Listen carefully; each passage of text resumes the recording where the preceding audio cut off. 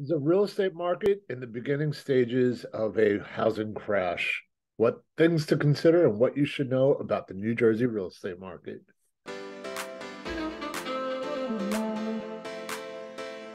Hey, this is Peter Cunha, your New Jersey real estate giant broker owner of Open Doors Real Estate in beautiful Middletown, New Jersey. Um, if you're concerned about the housing market crash in New Jersey, especially in Monmouth County and Ocean County, here's a couple of things to consider that are a little bit different than the last uh, housing bubble that really kind of upset the market.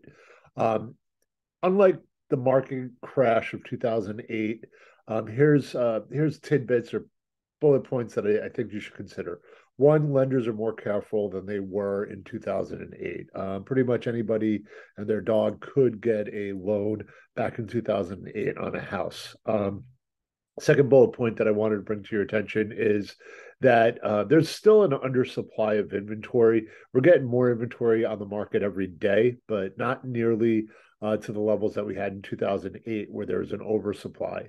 Um, and another thing to consider as well, or kind of the third bullet point that I want to talk about, is foreclosures.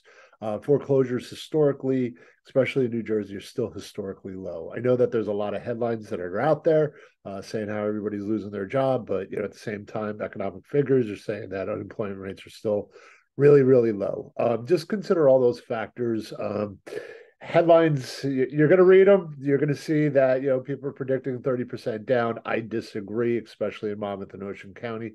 I just think that we still it's a supply and demand. We have tons of people that are still looking for houses and still not enough inventory. If you're concerned about the real estate uh, market and a possible crash let's get together and talk. Uh, my telephone number is 917-690-5390 Talk to you guys soon, and thanks for watching the video. And if you haven't subscribed already, please do. Thanks again.